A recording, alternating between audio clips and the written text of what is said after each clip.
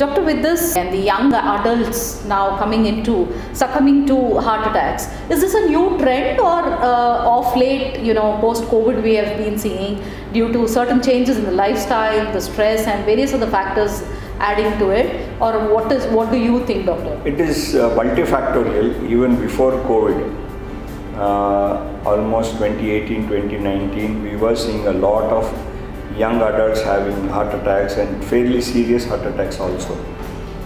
And uh, if you look at the demographic data of patients with heart problems, about five or ten years ago, we used to have patients predominantly in their 60s and 70s. Yes.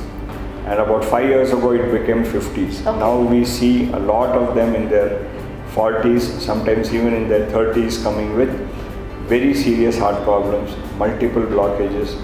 And uh, if you look at their angiogram, you'll think probably he's a 75 year old Yes. and they will probably be around th- 35 or 40. Right. So, disease is uh, coming earlier, Okay. it is becoming more severe, and uh, that is related to a lot of things.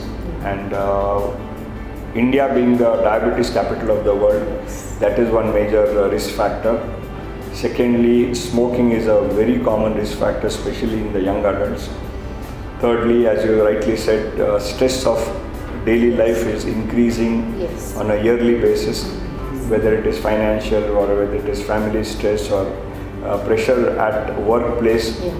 lot of targets, lot of competition, lot of co- problems within the organization, many places. Many of them are losing jobs. Right. And uh, financial uh, pressures in the last one and a half years Yes. for everybody. Yes. There is no person in the whole world who has not been affected by COVID Right. in some way or the other. Right. So because of all this stress, heart problems are getting worse and they are coming earlier. Right. And we need to be vigilant and make sure that we do not lose precious lives because of heart problems. Right.